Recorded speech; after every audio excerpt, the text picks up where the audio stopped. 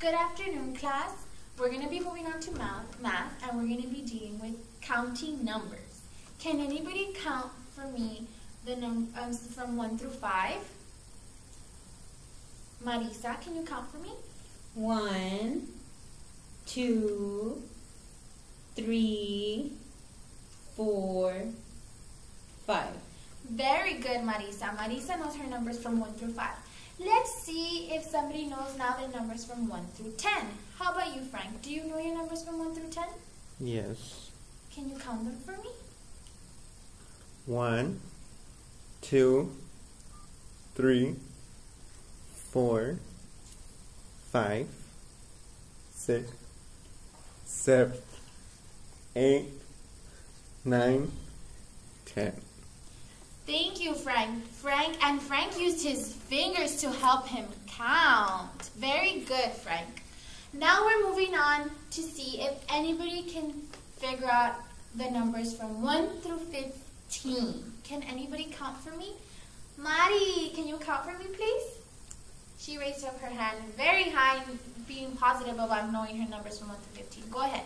Uh, 1, 2, 3,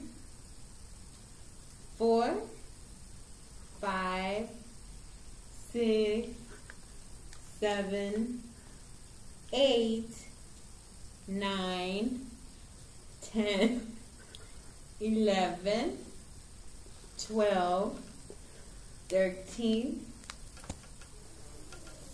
fourteen, and fifteen. 15, very good. I feel like Frank was trying to help Mari a little bit.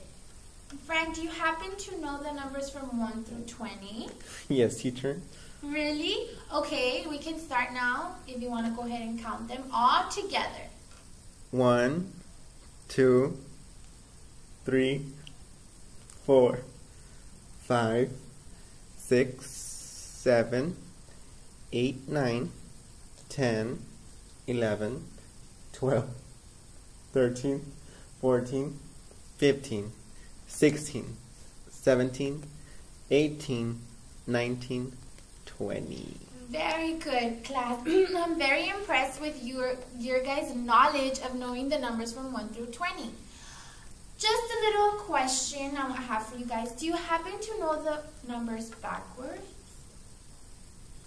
Okay, this is why this lesson is going to be introduced to you guys, and we're going to be learning how to count the numbers 1 through 20 forward and backwards.